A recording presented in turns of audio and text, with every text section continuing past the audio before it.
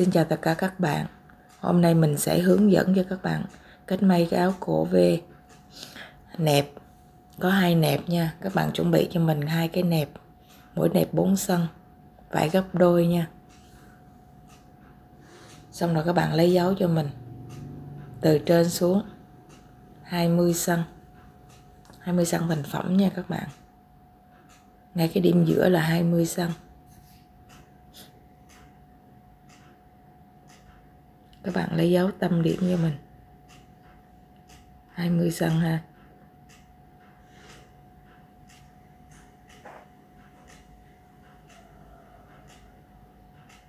Và cái nẹp các bạn cắt cho mình 4 cm thì mình may một cm từ thành phẩm 3 cm nha. Các bạn sẽ lấy từ tâm ra, mỗi bên một cm rưỡi. Tại vì cái nẹp này là 3 cm các bạn chia đều ra, các bạn lấy mỗi bên một cm rưỡi. Xong rồi các bạn từ trên cổ, từ trên cổ thì các bạn lấy vô 3 xăng cho mình. Xong các bạn vẽ thẳng một đường cho mình nha.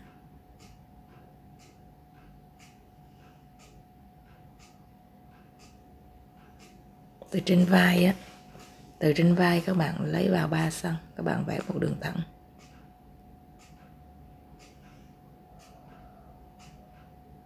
Mình lấy dấu như vậy nó dễ may hơn ha.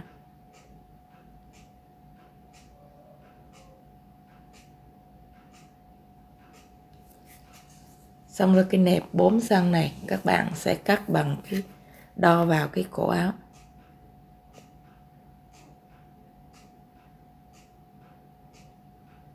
Nó tới đâu thì mình lấy dấu tới đó ha, để cho mình may cho nó êm. Mình phải lấy dấu trước, mình gạch ngang qua nha chấm dấu ngang qua đường để cho dễ may. Có độ góc xéo nha, không có vuông đâu nha. Cạnh bên này cũng vậy, mình cũng để vào.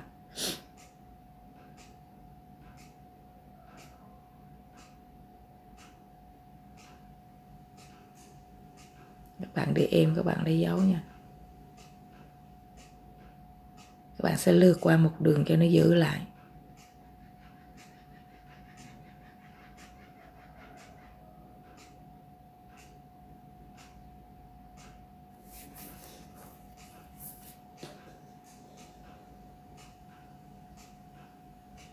Xong rồi các bạn sẽ đo trên cái cổ ha cái cổ trên á. Từ 19 cm đến 20 cm mình nghĩ là 19 cm là đẹp rồi ha.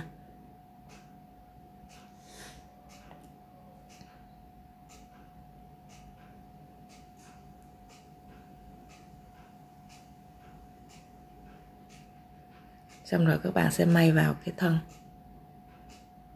Nó có cái đường lượt sẵn á, ba xăng đó, các bạn sẽ may may theo. Cái thân mình đã lấy dấu sẵn rồi, mình cứ để vào mình may thôi.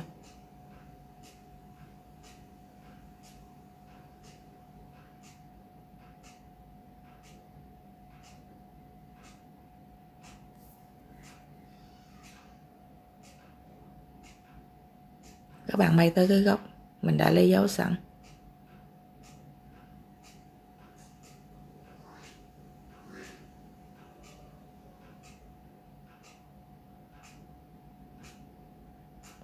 Tới góc này các bạn bấm trước. Bấm trước cũng được hoặc bấm sau cũng được không sao ha. Mình may tới cái góc đó mình sẽ xoay. Mình sẽ dừng ha, dừng kim ngay góc. Xong các bạn sẽ xoay lại. Cái phần thân dưới các bạn kéo nhẹ ra nha, cho nó thẳng.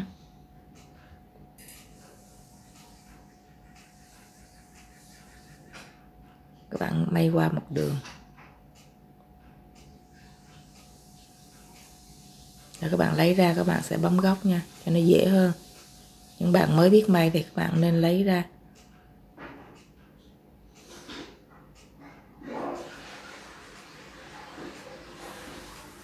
Mình bấm ngay góc ha.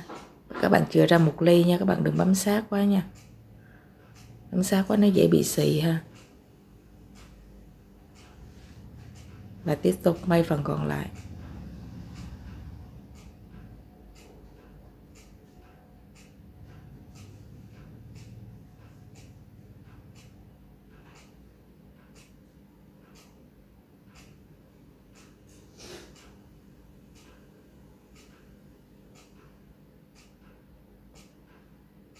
Vậy là xong cái cổ ha. Vì anh này là áo đầm hai lớp cho nên là mình sẽ đúp lớp xanh cái phần cổ này. Các bạn thấy em là xong, các bạn sẽ đúp.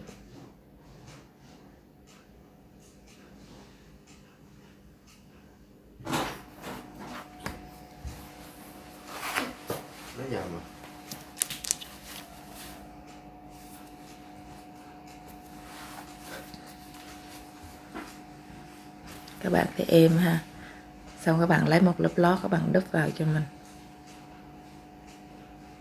Cái phần dư á, các bạn cứ để yên đấy.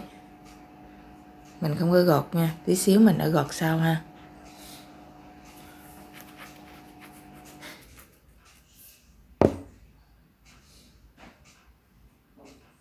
Các bạn để mép vải thân trên và của cái thân trên chính với cái mép vải lót thì các bạn để bằng nhau xong rồi các bạn sẽ may theo cái đường mình đã may sẵn của cái nẹp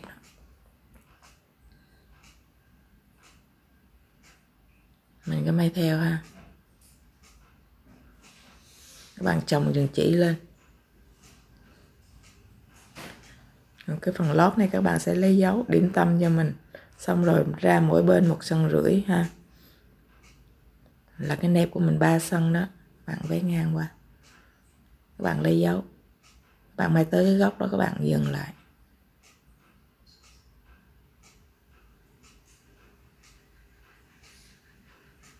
Các bạn sẽ bấm góc cho mình.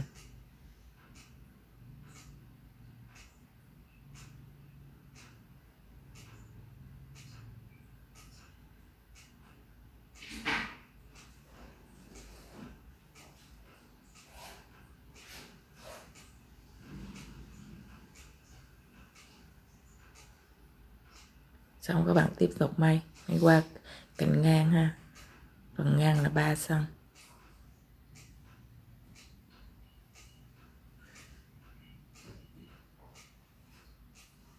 Đó, các bạn lấy mũi các bạn lấy ra và tiếp tục bấm cái góc này luôn.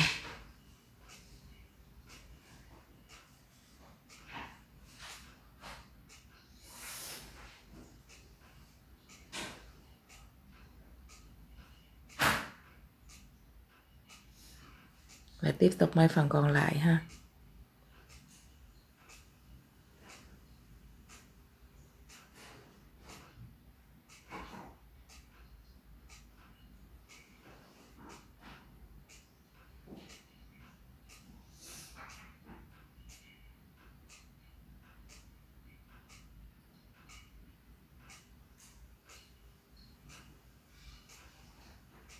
Các bạn vuốt em ra các bạn may.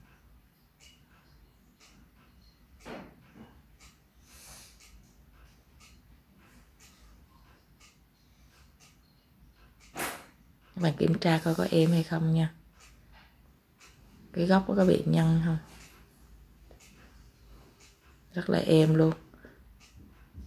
Mặt trái cũng vậy, rất là sạch sẽ ha. Còn có phần dư phía trong thì các bạn gọt đi còn một xăng.